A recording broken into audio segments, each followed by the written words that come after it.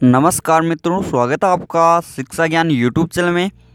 दोस्तों, आज हम इस वीडियो में बात करने वाले हैं जो रीट शिक्षक बढ़ते हैं, उसके बारे में। हाईकोर्ट का एक बड़ा आदेश आया है।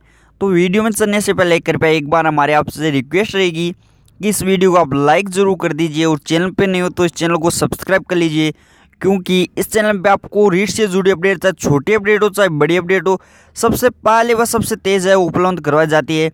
तो दोस्तों, आपके लिए सबसे उपयोगी ये चैनल रहेगा। ये बिल्कुल फ्री में है, इसलिए आप इसको सब्सक्राइब है वो ज़रूर कर लीजिएगा। तो चलिए, आज का वीडियो शुरू करते हैं। तो दोस्तों, आप यहाँ पे देख सकते हो, हाईकोर्ट ने कहा, रीट भर्ती परीक्षा के लिए स्नातक की मार्कशीट में विषय के आगे इच्छिक लिखना ज़रूरी नहीं।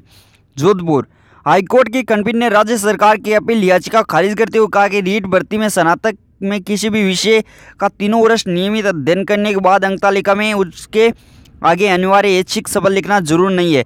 इससे बड़ी संख्या में अभ्यर्थियों को राहत मिली है। दरअसल प्रारंभिक शिक्षा निदेशालय बीकानेर ने सैकड़ों अभ्यर्थियों को रीट भर्ती परीक्षा 2016 व 2018 में इसलिए अपात्र घोषित कर दिया था कि क्योंकि उनके स्नातक डिग्री की अंक तालिका में अंग्रेज़ी विषय के आगे वैकल्पिक किया ऐच्छिक शब्द अंकित नहीं है। इससे प्रदेश के सीमावर्ती जिलों में के सैकड़ों अभ्यर्थियों की नियुक्ति अटक गई थी।